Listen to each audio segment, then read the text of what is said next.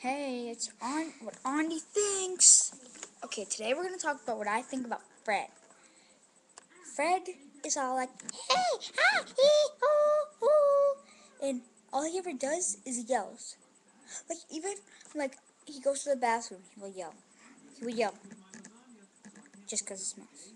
Just cause it smells. I don't care about it. I don't care about the fart. I don't care about the smell. And I don't care if some kid barfs in the toilet. But Fred, Fred, no, he has to scream. If he misses the bus, he has to scream. If he's sad, he has to scream. Why does he not scream? Well, Fred is very annoying. He has to yell, he has to squeak. Here, let me give you a demonstration. This is Fred. This is going to be Fred at his wedding if he has one.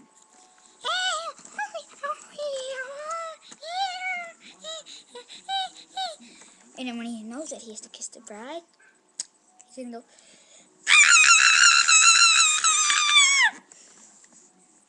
That's what I think about Fred.